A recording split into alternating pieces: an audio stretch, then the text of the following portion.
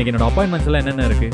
Already உங்களுக்கு note அனுப்பிட்டேன் sir okay that I will check later இப்போதைக்கு எல்லா மீட்டிங்கும் கேன்சல் பண்ணிடுங்க. சார் கேன்சல் பண்ணிடுங்கன்னு சொன்னேன். எனக்கு அர்ஜென்ட்டாக ஒரு வேலை இருக்கு. நான் போகணும். ஓகே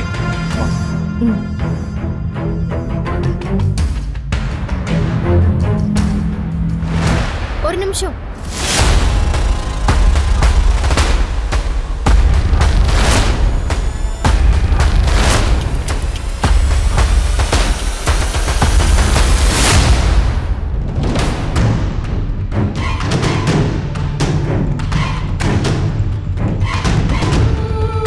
ஒரு நிமிஷம் உங்ககிட்ட பேசலாமா?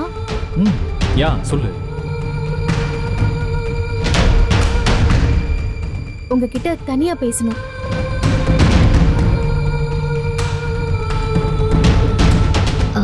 கேரி ஆன் கேரி ஆன் சரி வா ஒரு நிமிஷம்.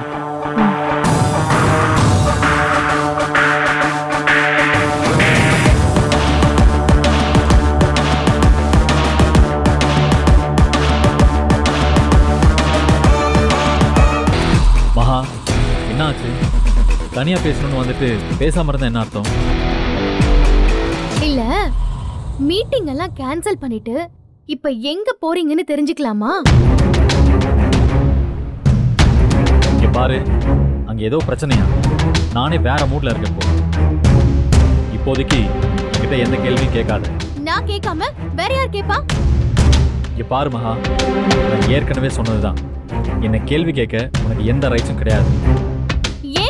நான் ஏன் கேட்க கூடாது இங்க பாரு. இங்க நீயும் நானும் ஹஸ்பண்ட் அண்ட் ஒய்ஃப் இல்ல. நீ இங்க ஒரு சாதாரணமான எம்ப்ளாயி அதை நீ ஞாபகத்துல வச்சுக்கோ. அதை மறந்துட்டு என்ன கேள்வி கேட்குற ஒரு நிமிஷம்.